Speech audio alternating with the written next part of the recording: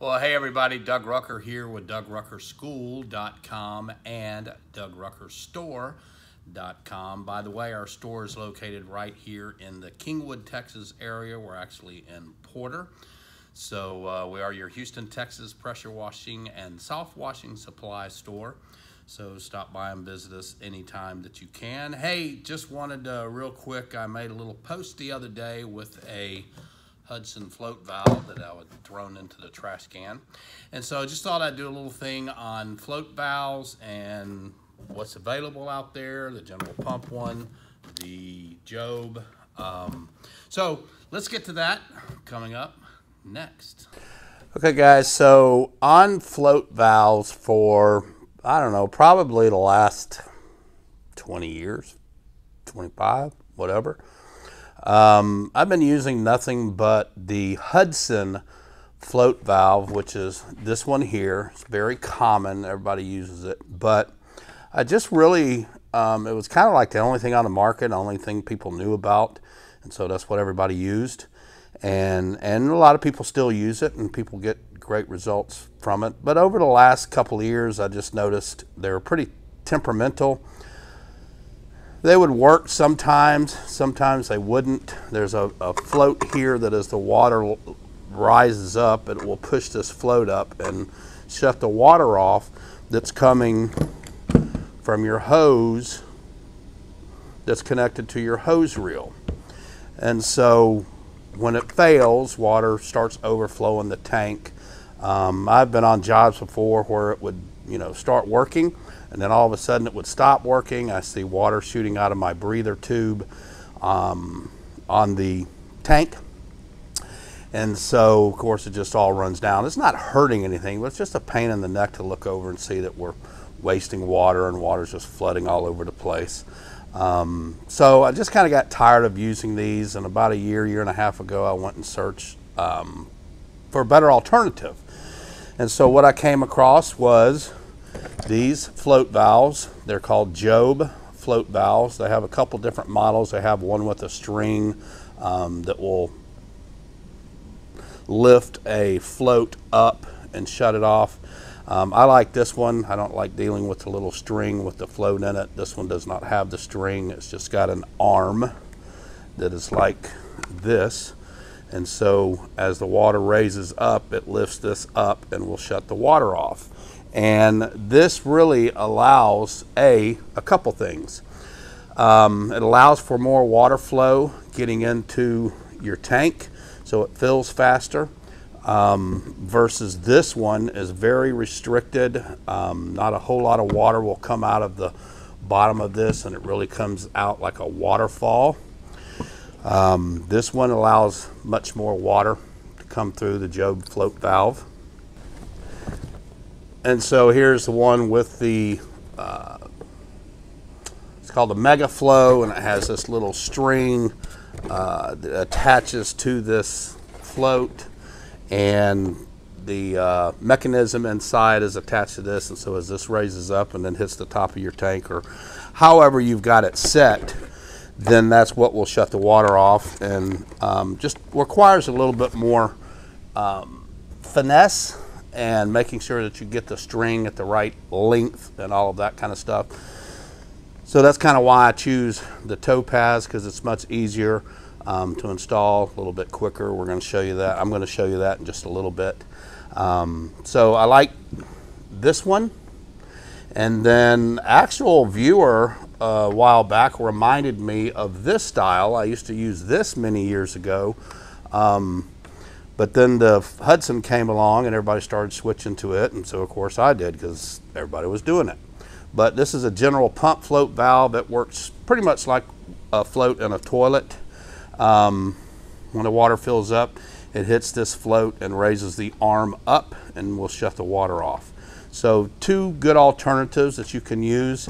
Um, I use both of these in our rigs and both of them work equally as well. It's just a matter of uh, sometimes what I have on hand and what we can get through the supply industry. So I'll take a minute here uh, coming up next and we'll show you uh, a little bit how we install these. Okay, guys, so when we're installing these, we're basically uh, tools that you need are a, uh, of course, your uh, float valve that you're going to use. You also need a um, bulkhead fitting for the size of the float valve that you're using, and then a hole saw and uh, whatever little plumbing fittings that you're going to use, however you're going to direct your water flow to your hose reel. So just remember that your hose, garden hose, or your hose off your hose reel, or if you don't have a hose reel and you're just doing it manually, is going to hook up to the water supply on the home or the commercial property, and then that's going to feed the water to your tank and that water is going to go through a float valve so that when the tank fills up, the water shuts off automatically. And then as you start using it and the water starts lowering, the float valve kicks back on and starts replenishing the water. That way, hopefully, you don't ever run out of water. But that, of course, always depends on the amount of water supply coming from that uh, faucet. So traditionally, like I was talking about on the Hudson float valve, you're going to have your Hudson float valve. I always recommend taking out the little filter that's in there. That will help. Um, one of the things you have to do when you do that is just make sure you check this, take this off from the inside of the tank every now and then, and make sure there's no debris getting clogged up in this part of the float valve. And so then we have a one inch poly nipple that goes into the bottom of that. And from there, we have a bulkhead. And so on this lid to a five gallon bucket, I'm going to simulate this being your water tank. So what you would do is you would take your um, bulkhead and you put the inside part of the bulkhead is this part right here that has the fat gasket sitting down. And so you're going to take the bottom part of that, the female pipe thread, and fasten it onto the male pipe thread of the poly nipple. Once you've done that, then you're going to insert this through the hole that you've made with your one and three quarter inch hole saw. Got it labeled there for you so you can see. Hopefully you can see and it's not reversed. Um, and that's this right here. That's what a hole saw looks like. It's got a little drill coming through it and then the cutting blades here for you to drill your hole. So once you do that, then you're going to insert this through the hole in the tank. Then you're going to take and put this thin gasket on top of your poly nipple and then you're going to screw this down and this has to go one way. The side that says tighten loosen with the words you want facing up. And it's kind of a reverse thread. And I put my hole too close to my edge of my top but I could get it down. So once you've got that then you take a 90 or a straight but usually it's a 90 poly fitting that's one inch threaded on one side and then I use three quarter inch hose coming off of my hose reel so the barb end is going to be three quarter so this is a one inch to three quarter barb poly fitting. And so you screw that into the top of the bulkhead. Remember that you want to use some pipe dope to seal these threads. Don't you, you don't need to use Teflon. Just use that true blue. Um, and I've got some right here. You can get these off of uh, Amazon, but that's the type that I use right there. We use these on all of our Kingslinger fittings. Um, any type of plastic fittings, even metal to plastic, we use that. Metal to metal, we use Teflon tape and the lock seal. So once that's completed, then you're going to attach your three quarter inch hose over there, heat it up with a blow dryer or heat gun, and then hose clamp it. And the other end of this hose is going to the swivel off of your hose reel. And so that's what it would look like. This is facing down this is facing up from your tank. So this needs to go at the top of the tank. Okay. So that's how you would do the Hudson float valve. So next I'll show you how to do the Jobe float valve. Hey, don't forget my monthly school, been doing it for 11 years now, is coming up May, I believe it's May 9th and 10th, but you can go to pressurecleaningschool.com slash events and you can see the schedule there. I do it once a month and then every now and then we throw in some other uh, types of training. Don't forget the online video school with over 250, 260 uh, videos. Starts off with roof cleaning, house washing, concrete cleaning, um, property protection. You got four separate modules there. You can also take an optional test at $28.95 a piece if you'd like to for each one of those modules. It's not a necessity, but uh, a lot of guys take advantage of that so they can test what they're learning. But uh, pressurecleaningschool.com slash join is where you can read all about that. And then again, pressure cleaning school slash events for our monthly hands-on training every month that we've been doing for the last 11 years. So check all that out.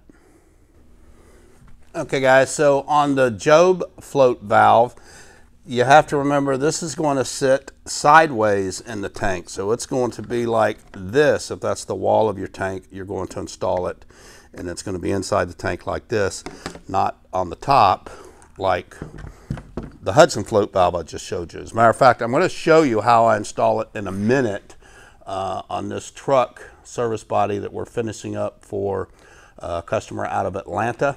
That's the last thing I have to do on that build. And so I thought, well, I'll do that while I'm making the video so guys can see. But what you do with this one is you have the same thing. You have a bulkhead.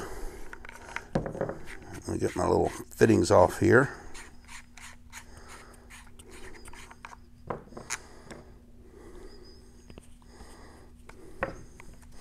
And so on the inside part, this is going to go into your hole that you've cut. Okay.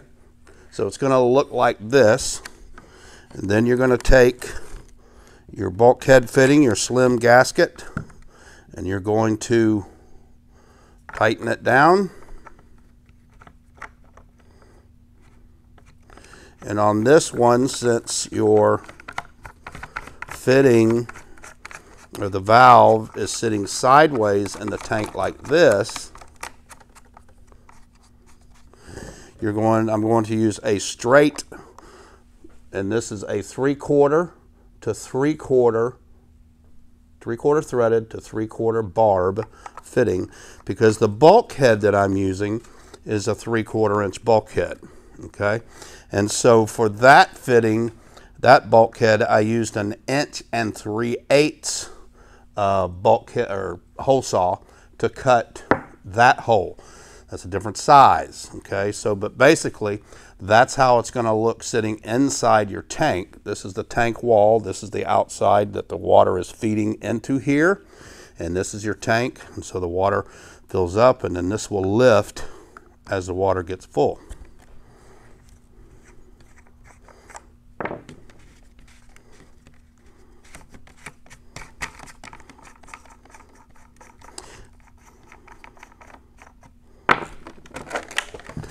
Again here you can see I wrote down inch and three eighths right here. And that's for your three quarter inch size bulkhead. That's the, that's the hole saw size that you will need for that. Now, when you're doing the general pump, it requires a half inch fitting. So you're basically doing the same thing. You're drilling a hole for half inch, and that's going to be the inch and a quarter inch and a quarter bulkhead fitting, which is right there. Okay, that's the size hole saw that you will use for a half inch bulkhead fitting. And so this is going to pretty much mount the same way as we did the Jobe float. You're going to put your, take this part off of your bulkhead, a small gasket, and then your float valve goes on the inside part of the tank. Take the uh, small gasket, put it over the bulkhead, like that.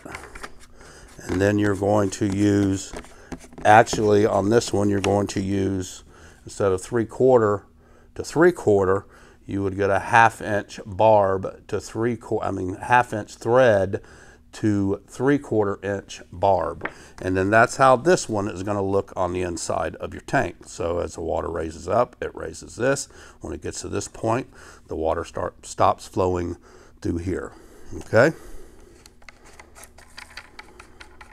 All right, so next I'm going to go over to the truck build and get set up over there and show you how I actually install this inside a tank on the truck build.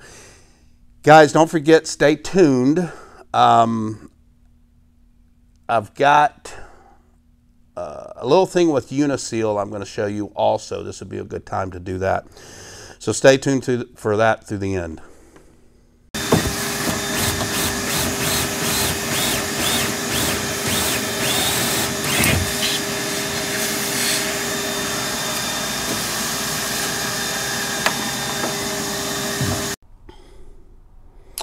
Okay guys, as you can see, I've already drilled my hole. So I'm going to take the lock nut, spinning nut, and the small gasket off of my bulkhead fitting of my float valve because these two parts are going to go on the outside of this hole. So all I have to do, I have to stand up for this, is get the float valve down in the hole Then I'm going to take, sorry for the train, and I'm going, going to put the little washer over that and then get this spinning on. I'm going to go reverse for tighten and it tells you on the top here which direction. And then I'm just going to hand tight that real good. Seal it up. Make sure it's straight inside. It is and then what I'm going to do is take my hose barb, threaded hose barb, I'm going to take a little bit of this true blue, and I'm just going to lift it up out. And I just normally kind of take it and rub it around the brush like that. If you get this on anywhere, rubbing alcohol does a good job of cleaning this up and then I'm just going to take and screw it into here. As I'm screwing it all of that dope gets buried down into the threads and this does a great job of sealing it as well as making it hold and stick. So it's kind of like a sealant and a glue all in one okay? So that's done. Now all I have to do is run my hose three quarter inch hose from here to my hose reel and I'll show you that next Okay, so for the hose on the tank, I'm just going to take my hose clamp, slide it over my hose. Then I'm going to take my blower, my heat gun. I'm going to heat this hose up just a little bit. Doesn't take a lot um, unless it's really cold outside, but I just want to kind of warm it up. That makes it easier to uh, slide over the barb, and then as it cools, it helps to make it seal better as well. So we'll just slide that over on top. Now I'm going to take my hose barb and I'm going to do the tightening of the hose clamp. And I'm using a 5 16 uh, nut driver to tighten that up. So that's complete there. And now we'll go to the outside of the hose reel. Okay guys, so on the outside of the hose reel at the swivel, I have a half inch threaded to three quarter inch hose barb because the swivel is half inch uh, female pipe thread. So I've got a half inch male pipe thread uh, to three quarter inch hose barb uh, fitting that goes on the hose reel. And so here's my hose coming from the tank that we just put on Again, I'm going to put my hose clamp on, hold it in place so it doesn't slide down. You have to get in the truck and get it. Again, I'm going to heat the hose up just a little bit. And I've got this pretty much where it should be pretty taut. I don't want it completely tight. Want a little service loop in it. And so I'm just going to heat it up a little bit. Just enough to make it soft so it slides over And then once that's done, I'm going to rotate my swivel that way, slide the hose over, and then I'm going to tighten it down with the 5 16 nut driver. So I always try to get my uh, little nut there where I'm tightening to where I can get to it if I ever need to. So sometimes if you're installing this in the truck, you might want to install this up that way uh, because it's facing you. So always install it where if you have to service it, it's easy to get to these little hose clamp things. Not inside or whatever, but right there. So that's all tightened down. So now on the hose, garden hose reel, when I hook this up to a water supply, it's going to feed the water through the hose reel, through the swivel, into the tank through the Jobe float valve. Okay guys, the other thing I really like about these Jobe float valves or the general pump float valve, either one, is that versus the Hudson float valve, which I have in my hand, you can see the bottom of the float valve comes down quite a bit. So you lose quite a bit of water. You can see where my fill is right now on using the Jobe float valve. And I'm just above 90, 92, 93, something like that. This is a 100 gallon tank. When I use the Hudson float valve on the same tank, I would get at most probably about 80 uh, gallons. So either one, the Jobe or the general pump one, allows you to get more water into your tank. gives you a few more gallons of water, which helps to uh, prevent the risk of you running out of water sooner, um, especially if you're using an eight gallon per minute machine. So um, I have noticed that on the Jobe and also the general pump float valves that we uh, don't run out of water near as much. Um, of course, that's all depending on how much you're using open flow uh, when you're when you're cleaning or like using an open ball valve or whatever. Zero degree tips, those of course going to cause you to exhaust water. But as long as you've got water continually flowing in to the tank and you're stopping and all that kind of stuff, you're going to get, um, you should not run out of water, again, depending upon the amount of water flow you've got coming into the tank. So, not only does the uh, these other two, the Jobe and the General Pump, uh, provide more water to the tank, um, and they're much more reliable, but it also gives you much more volume of water to hold in the tank, so you're not losing um, as much water. So. Okay, guys. So I told you about. Uh, I was going to talk to you about uniseals. Probably for about the last year, year and a half, we've been using uniseals for the top of our tanks instead of uh, traditional bulkheads. The reason, one of the reasons we did that is because on setups like 12 volts and it's in the King Slinger, what happens is if you if you're using a traditional bulkhead fitting, which is like this, Here's the half inch. And then here's the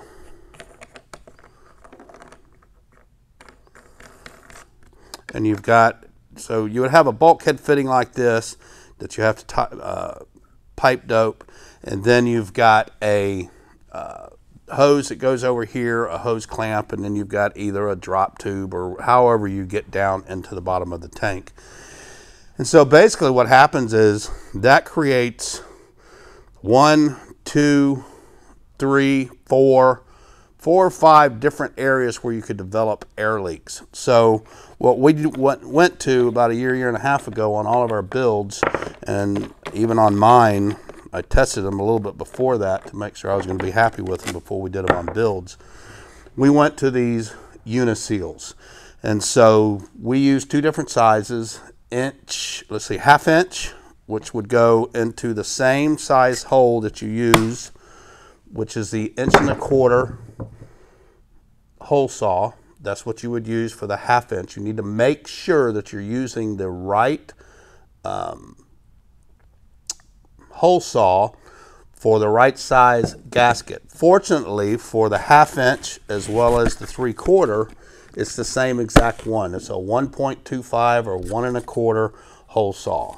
Okay, and so what happens is this allows us just to slide our hose through here so that we do not have to use any type of bulkhead fittings and this makes a real tight seal for uh, three quarter inch or half inch hose depending on what size uniseal that you're using.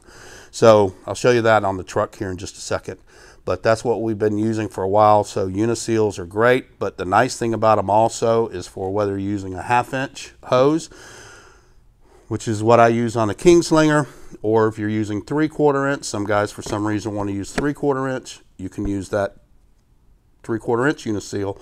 But both of them, the bottoms of the gaskets, both of them are the same exact size and both use the inch and a quarter, 1.25 or inch and a quarter um, hole saw. We even have it marked on there, Uniseal, so that we always know. Okay? So, Uniseals are a great option for your soft wash systems, even for downstreaming.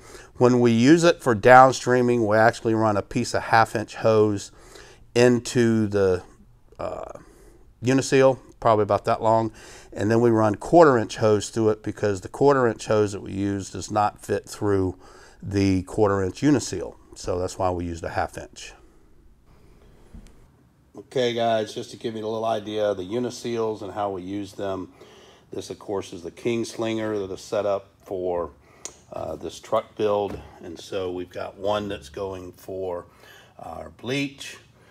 We've got one that's going over here to our water tank. Then we've got um, our downstream for bleach. Like I said, we use a half inch ho uh, hose just a little piece, just a few inches, just so we can run the quarter inch hose down through the bottom. Um, so that's how we do the downstreaming hose because like I said, the quarter inch uh, uniseal fitting will not fit. Um, the quarter inch hose won't fit through the quarter inch uniseal. So that's why we do it this way. And so we've got one for that. Um, then we also have our vent hose for our bleach tank. We actually have a vent for our water tank as well, um, but we just let it come out the top. That's the one I was telling you when I was using the uh, Hudson float valve, the water would just start coming up out of here. The reason we do that is because these tanks are sealed. These lids are sealed. They do not breathe. So we have to make sure the tanks are breathing. Make sure the water tank is breathing. And then, of course, always vent your bleach tank um, down through the bottom of either your trailer or your truck so the off-gassing can go through that hose and not um, attack and rust out your truck. So that's how we use the uniseals. Um, we really only use, we even use it for the bypass for the pressure washer. And then the only time we really use a bulkhead is for water supply going into the tank. And then of course, water supply down at the bottom for the pressure washer.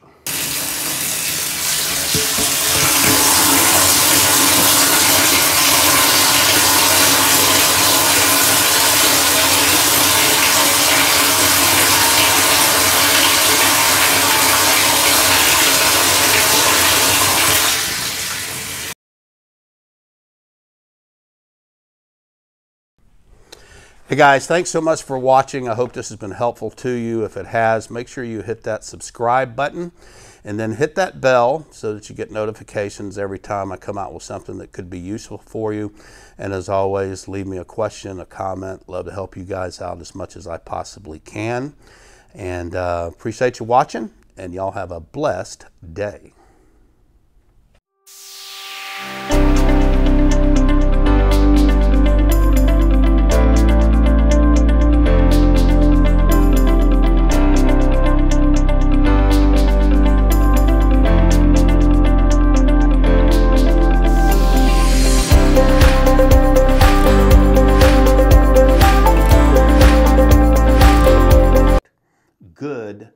Is the enemy of great.